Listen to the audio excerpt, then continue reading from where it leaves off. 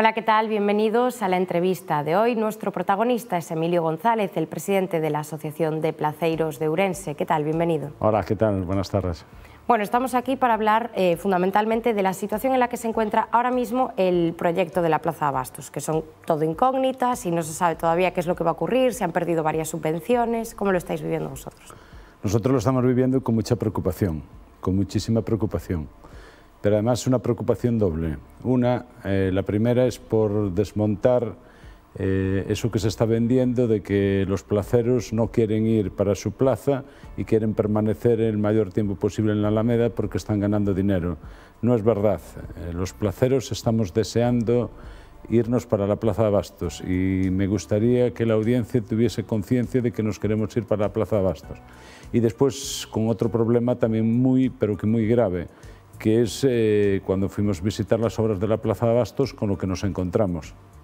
Pues nos encontramos con que para darse la, obra a esta empresa, Acciona, se le puntuó por tres cosas fundamentales. Una por eh, solucionar el problema de la basura, otra por solucionar el tema de la carga y descarga y otra por un continuo diálogo con los placeros el problema de la basura, cuando entramos allí, nos dije, pregunté por el, cómo estaba solucionado el tema de la basura y nos dijeron que por, problemas estructurales que no se podía hacer. Y le dije, ¿y dónde ponemos la basura? Y nos dicen, bueno, hay que buscar un lugar. ¿Y, la, ¿Y por dónde la bajamos? No, por la carga y descarga. O sea, que pretenden que bajemos la basura por el mismo sitio por donde subimos la mercancía. Bueno, el ABC de sanidad mercancías cruzadas. Pero es que después nos encontramos con un segundo problema, que es la carga y descarga. La carga y descarga resulta que plantean la carga y descarga de la siguiente forma. Tú descargas, subes en un montacarga hasta un entresuelo, de ese entresuelo tienes que cambiarte de a otro montacargas que está entre 25 y 30 metros, bueno, el mundo, el mundo al revés. Bueno, y el tercero era que era un diálogo constante con los placeros. Parece ser que nos dijeron allí que les habían prohibido los políticos que hablaran con nosotros. Nosotros lo que decimos es claramente es que ha habido una modificación sustancial del proyecto y que las decisiones no se han tomado las adecuadas, ni creo que las hayan tomado los adecuados. Creo que las decisiones, al haber una modificación tan sustancial, la tienen que tomar los propietarios del edificio. Y los propietarios del edificio no somos los placeros, es el ayuntamiento el ayuntamiento y las personas que lo, que lo representan hoy. No las pueden tomar unos arquitectos ni un funcionario. si hay una modificación tan sustancial como hubo en el proyecto, y, sí, quedó muy bonito, pero no es, no es funcional para trabajar, no se puede trabajar en él. Vosotros os habéis puesto en contacto en varias ocasiones con el Concello, no sé si habéis recibido información sobre qué va a ocurrir con esto. ¿Qué os responden? Bueno, la respuesta del Concello es siempre la misma. Nosotros percibimos que el edificio de la reforma no interesa nada, absolutamente nada. Lo único que interesa es hacerse una foto electoral en el mes de febrero, el mes de marzo, el mes de abril, antes de mayo, hacerse una foto electoral que, se, que nos echaron de la Alameda. Ese es el único interés. Te puedo decir, es más, eh, cuando preguntas tras la reforma, tiene que haber una urbanización del, entorno. preguntamos por la urbanización.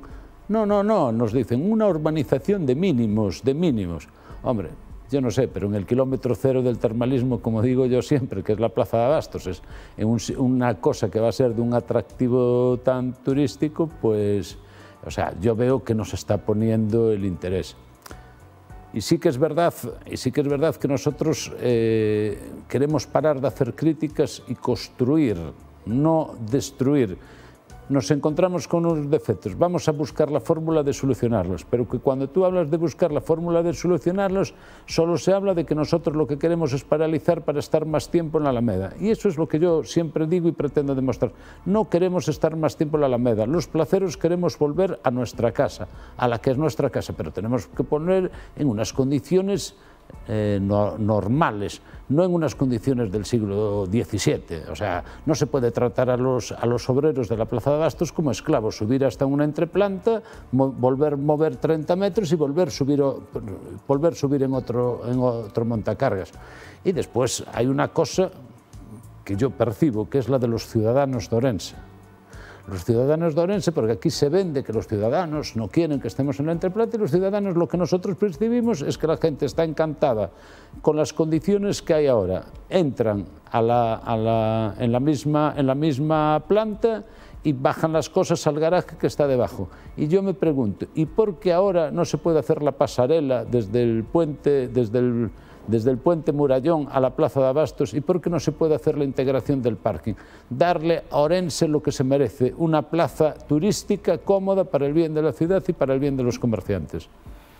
Otra de las justificaciones, por llamarlo de alguna manera, que utiliza el alcalde es el tema económico, ¿no? que estáis eh, más a gusto ahí porque se gana más dinero, pero la diferencia es de escasos metros. Entonces se supone que el problema no es de la Plaza Abastos o del producto de la Plaza Abastos, sino de las condiciones que tenía el otro edificio y la accesibilidad, porque además tiende a ser usado pues, por personas con una media edad pues, más elevada o pues, con movilidad reducida. Entonces, no hay respuesta sobre qué va a ocurrir con esas tremendas escaleras que hay, cómo va a ser ese acceso a la plaza. Mira, hoy en el periódico La Región me entrevistaba un compañero tuyo y hicimos la entrevista en la parte de arriba de la Alameda y él miraba y dice, pero la plaza, la plaza va a quedar igual con los mismos accesos que tenía antes. Por eso nosotros decimos que es imprescindible la pasarela desde el puente de Murallón, mm. porque no es una demanda que hagan los placeres, es una demanda que hace el usuario, los orensanos, los orensanos. Y eso de que estamos vendiendo, de eso de que estamos vendiendo más y que por eso no nos queremos ir, es un mito que no damos desmontado. Claro, desde la alcaldía se cuenta con una televisión y allí digo lo que me parece y, punto final. Pero nosotros estamos deseando irnos para nuestro sitio. Pero insisto, en unas condiciones adecuadas. Hay que darle la comodidad que, necesita eh, la gente que va a comprar ahora mismo a la Plaza Bastos. Sí que es verdad que cuando nos fuimos para la Meda aumentaron la clientela, aumentó mucha gente joven porque va los eh, los jueves, viernes y sábados va mucha gente, pero por Calaba la comodidad en la que está ahora y sobre todo la comodidad de poder llevar el coche y meter el coche debajo. ¿Por qué no se quiere integrar el parking? ¿Por qué no se quiere hacer la pasarela? Porque hay una obcecación con los placeros desde el inicio de este mandato y, no, hay y no hay tutía. No hay forma humana de que podamos desmontar ese mito de que los placeros nos estamos haciendo ricos en Alameda. Hombre, yo veo que no nos debemos estar haciendo tan ricos porque cuando veo que cuando nos fuimos para la Alameda hubo gente que tuvo que pedir un crédito para poder ir para la Alameda porque tuvimos que reformar los puestos, no dijimos nada porque se vende la teoría de que estamos allí gratis y no es verdad, porque tuvimos que hacer una inversión muy fuerte, la gente está pagando unos créditos y aún hoy, a día de hoy, están pagando esos créditos, por eso están tan asustados en volver a la Plaza de Abastos porque creemos no podemos volver en unas condiciones peores que, que, las que teníamos porque eh, si, si, comparamos aún con lo que teníamos, podemos tener una plaza mucho más bonita por dentro, pero las comodidades para los empleados son imposibles de que podamos, eh, imposible de que podamos por allí. Yo, el otro día tuvimos una asamblea general, le expliqué esto a los placeros, le expliqué esto a mis asociados y la verdad es que me salí de esa asamblea con pena. Vi a la gente con los, triste, con los, con, los, con los ojos tristes, porque tenían toda la ilusión puesta en ese edificio y cada vez, eh, nos, a mí cada vez se me parece más a la Plaza de Bastos del Puente, al mismo modelo de la Plaza de Bastos del Puente. Y tengo que decirlo claramente, quien desarrolló el modelo de la Plaza de Abastos del Puente es el que está desarrollando el mismo modelo de la Plaza de Abastos de Orense. Yo no sé, no hay quien pueda dar un puñetazo en la mesa y decir borrón y cuenta nueva. No es tan difícil eh, solucionar los problemas. Nosotros estamos poniendo de nuestra parte, hemos contratado a una arquitecta, la ponemos a disposición del Concello, existen ahora Fondo Next Generation que, que nos dieron un plazo de un mes, que son para todos los mercados de España, todos los mercados de España están pidiendo, excepto el nuestro, está la Junta que nos ofreció la colaboración, no podemos pegar, no hay nadie que dé un puñetazo en la mesa, vamos a solucionar los problemas y que se vayan los placeros lo antes posible de la Alameda, pero que se vayan con las comodidades, que se vayan con una pasarela, que se vaya con una integración del parking, que se solucione los problemas gravísimos que hay de carga y descarga y que se solucione el problema de la basura, porque sigo diciendo, es algo que no tiene explicación. Pretender bajar la basura por el mismo, por el mismo montacargas por el que se sube la mercancía, ya me parece que, o sea, no es tener sentido común.